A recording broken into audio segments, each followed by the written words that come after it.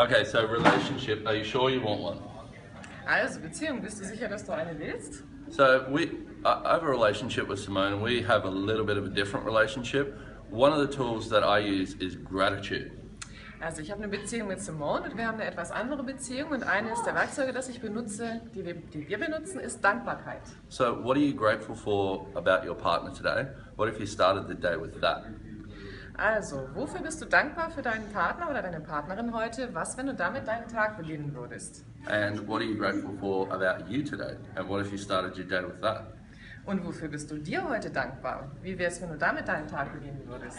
So, we have a bunch of tools on this telecall that have helped us create a relationship, and by create a relationship, I mean create daily. Also wir haben eine ganze Menge Werkzeuge bei diesem Telecall, die uns geholfen haben, unsere Beziehung zu kreieren. Und mit dem Kreieren, damit meine ich, das ist eine tägliche Sache.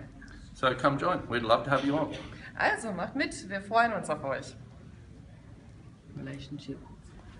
I thought you would get.